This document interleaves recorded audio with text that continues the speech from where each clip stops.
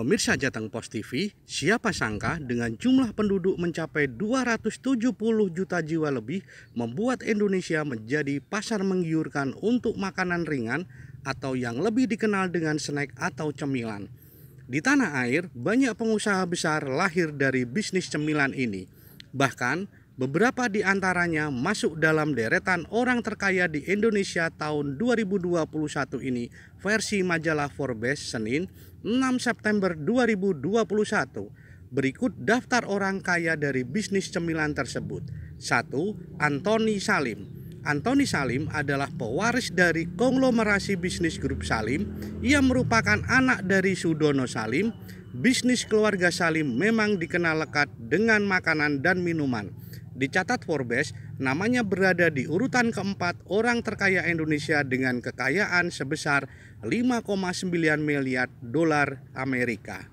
Lini bisnis produksi snack grup Salim dibesut oleh PT Indofood CBP Sukses Makmur Tbk melalui anak perusahaannya PT Indofood Fritolai Makmur atau IFL.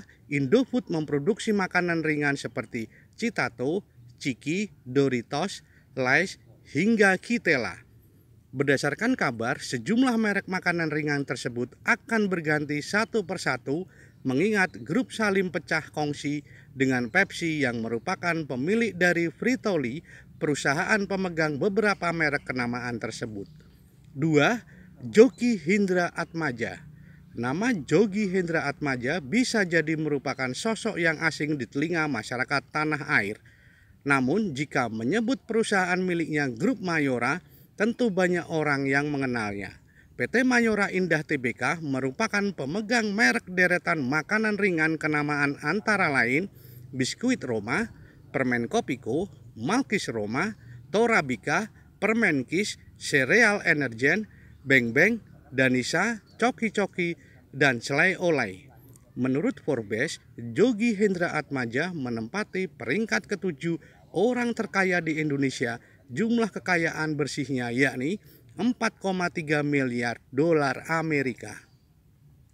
Ketiga, Husen Joyonegoro. Husen Joyonegoro adalah pengusaha asal Semarang yang merupakan pendiri dari grup orang tua.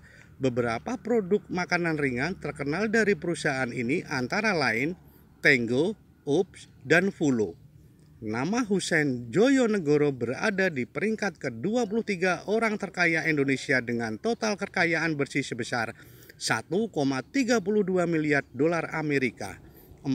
Sudame Sudame Agung Waspodo adalah bos dari Garuda Putra Putri Jaya Tbk, terkenal dari produk kacang tanahnya. Perusahaan ini berkembang pesat dengan memproduksi berbagai macam cemilan. Produk-produk dari Garuda Food seperti keripik kentang Leo, biskuit Jerry, coklatos, dan tentu saja kacang Garuda. Sudame sendiri merupakan orang terkaya di Indonesia di urutan ke-41 dengan kekayaan bersih sebesar 635 juta dolar Amerika versi Forbes. Rendra Wijaya, Jateng Post TV melaporkan dari Semarang, Jawa Tengah.